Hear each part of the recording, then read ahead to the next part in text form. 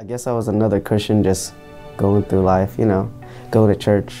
And I didn't really have community outside of church, you know. Well, I guess I didn't feel like I had a big community, you know what I mean? Felt almost alone sometimes, like, oh, I have all these things, I don't know what to do with them, you know.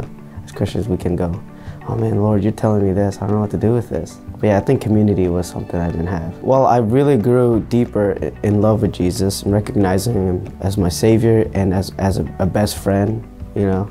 I really grew in understanding that he's the lover of my soul. He really does care.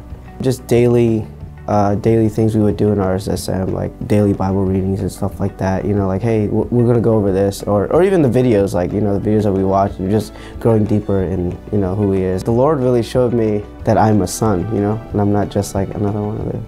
But he's I've really been adopted to his family. You know, God's just really uh, sonship has been a thing this, uh, this past season for me. So really recognizing what that is. The big thing for me it was community, was family, was authentic uh, authenticity. So we can go Sunday Sunday morning and you know Sunday night, Sunday evening, wherever whenever you go to church, like once a week, you know you see everybody. But then again, you go to the a grocery store like probably twice a week and you see the same people but you don't really know them you know what i mean? Like it's like going to church and you just you don't have a community or you're not you know growing intentionally with people. You just see them every week and you know it's just like hi bye kind of thing. Knowing that you're not alone i think especially in this time like there's not just a couple of christians in this world. There's there's millions of us. I, I think people should sign up for RSSM for community and growth in the lord